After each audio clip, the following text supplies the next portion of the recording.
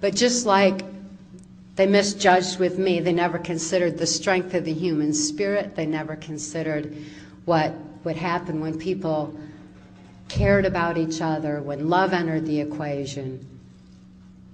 And that has caused people to stand, and a lot more people are awake and aware, and it's making a profound difference. It's certainly the cause, ultimately, of my recovery. But they weren't aware of any of those aspects back then. All they knew was exact, exact scientific formula for exactly how to control someone and what happens to the brain when a person is severely traumatized.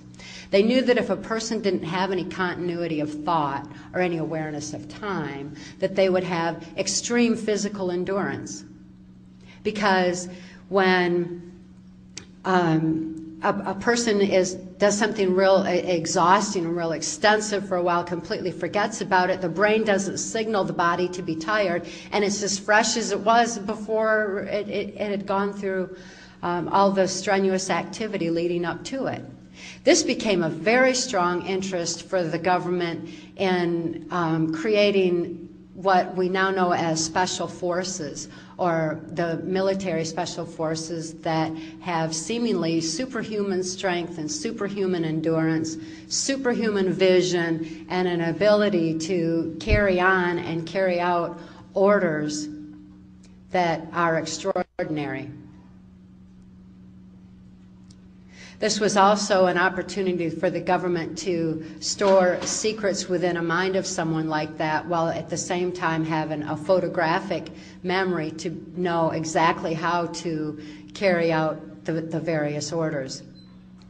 When they began meddling in the, the subconscious mind, our subconscious mind is the part that controls our, our breathing, it controls our blood flow, it controls uh, numerous body functions.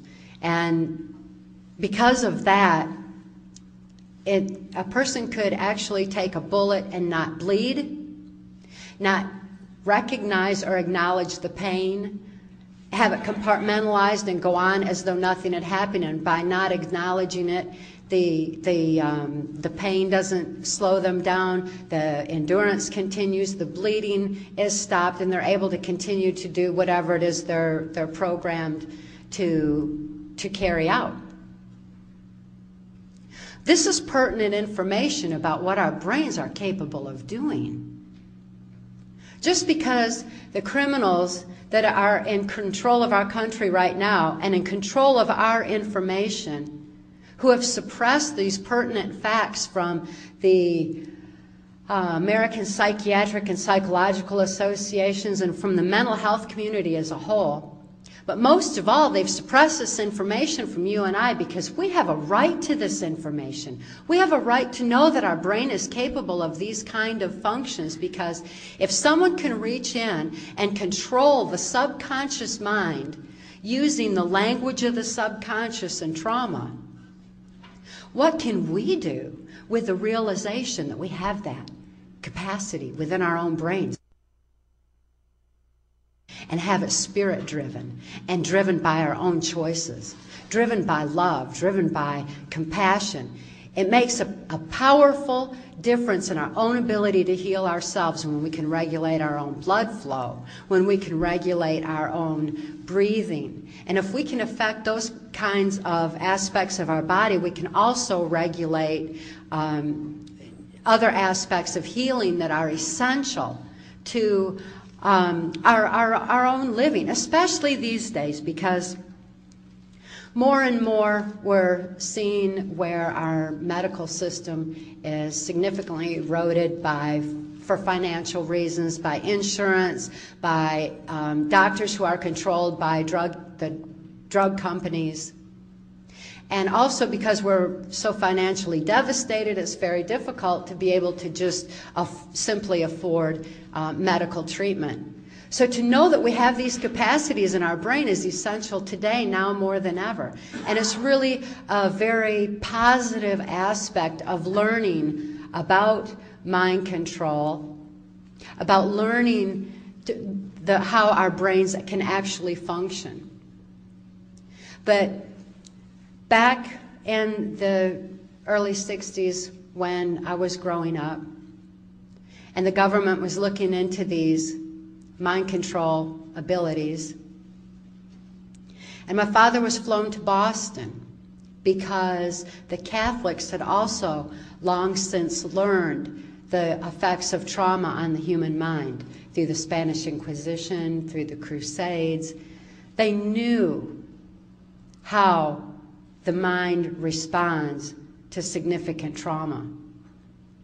Combining the Hitler Himmler research with what the Catholics had learned and taking it into a new level with through the, the CIA and through the technological advancements that were beginning to come forth in society. We had, we had television then, which was having a strong impact on people and gave them ability to uh, implement mass mind control far stronger than Adolf Hitler ever could do.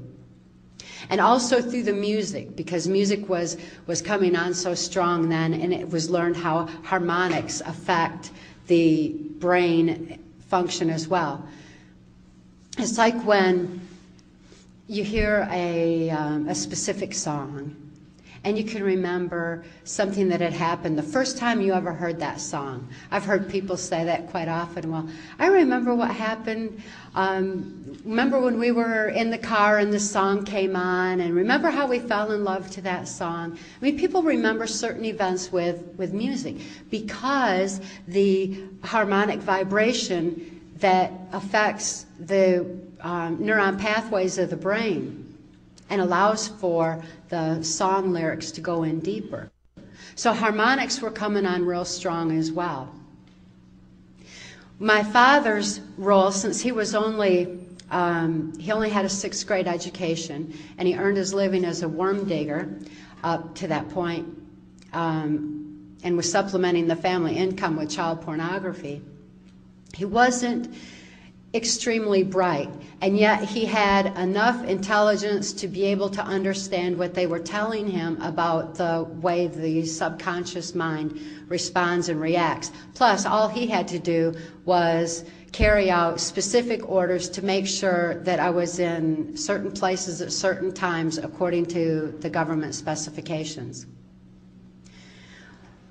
The local politician that had approached my father on um, selling me into MK Ultra Mind Control was Gerald Ford. This is the same Gerald Ford who went on to become the unelected president of the United States. Gerald Ford's political career escalated significantly.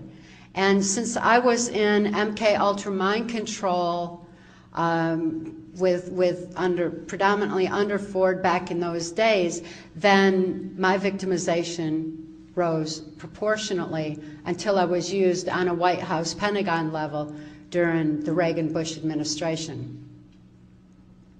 But nevertheless, Gerald Ford was uh, very much instrumental in bringing mind control not only on an individual basis, but also on a mass mind control level as well, particularly by the time um, he was in office of, of president. Consider that Gerald Ford's presidential cabinet included George Bush as head of the CIA, Donald Rumsfeld as Secretary of Defense, Dick Cheney as Secretary of State, Jack Valenti as his press secretary. Of course, many of you know Jack Valenti is head of the Motion Picture Association of America. And he, along with a small handful of corporations, control our medias and decide what information we can be privy to through the television, through the arts.